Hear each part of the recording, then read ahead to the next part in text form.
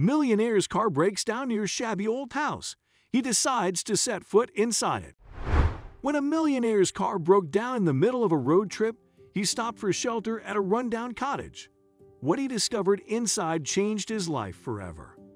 Successful businessman and millionaire Albert Francis was on his way to a remote village for a crucial deal when his car broke down. Since Albert had left his home, he had a nagging fear that the deal wasn't going to be an easy one. His driver had requested an urgent leave in the morning, so he decided to drive himself. But soon after, he realized that his cars were being serviced, so he had to rent a car in the end. But as he reached a small unknown village that fell somewhere before his destination, the vehicle began to make strange noises, and he eventually pulled over. Albert, a stickler for deadlines, was furious when he discovered he wouldn't get to his appointment on time. He wanted to call his manager, Mr. Smith, to tell him what was going on, but his phone was dead. He looked around the place for help, but all he saw nearby was an old, run-down house. It was made of wood and grass straws, unlike his home. The gigantic mansion he stayed in, but it was getting dark and cold and he was freezing. So he decided to approach the house and ask for assistance. Hello? Is anyone home? He inquired as he knocked on the door. My car broke down and I need help. There was no answer. Odd, I think there's no one home.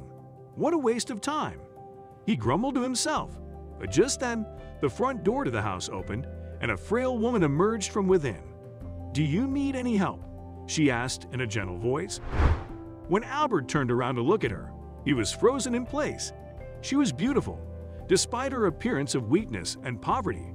Her dark brown eyes stood out against her fair skin, and her golden locks, which were untidily scattered across her face, enhanced her beauty. Aren't you the one just knocked? She asked, interrupting his thoughts. I'm sorry I was busy with something. What? Ye?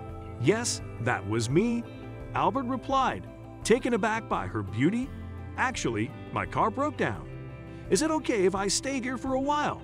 I can't call for help because my phone is dead, and I doubt I'll be able to get a car here at this hour. The woman looked at Albert, and from his expensive clothing, she could tell he wasn't someone from their village. Sure, please come in, she said, showing him the way inside. Stepping inside, Albert could see the house was in no better condition than its owner.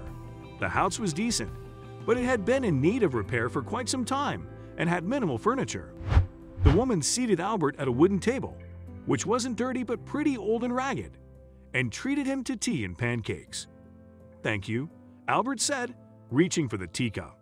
Suddenly, he was drawn in by a loud crying sound from within. The woman excused herself and rushed inside. When she returned, she was holding a baby in her arms and a young boy was hiding behind her.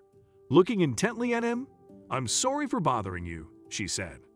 I had just put her down to sleep, but my son woke her up. Do you mind if I hold her for a while? Albert inquired, his gaze fixed on the tiny baby girl. Sure, the woman said, with a smile.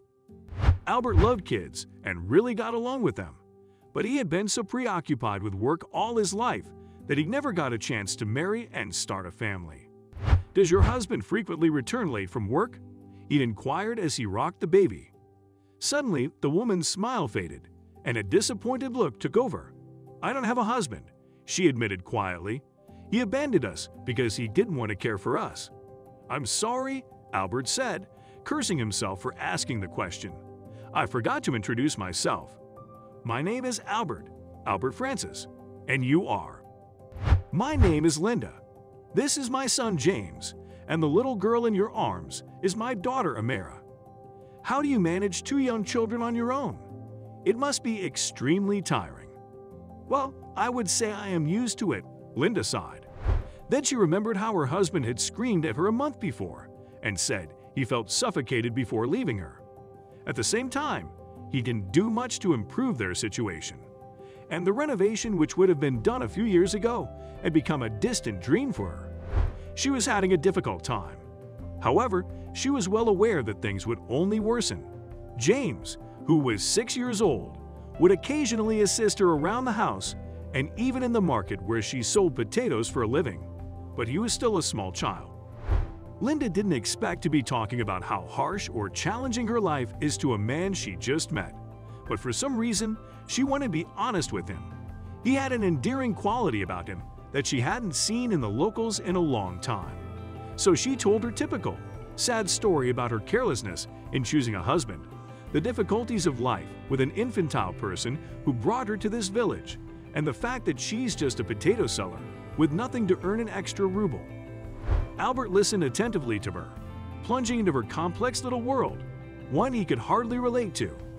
But the injustice and trials that fell on the head of this beautiful woman aroused in him a desire to help her.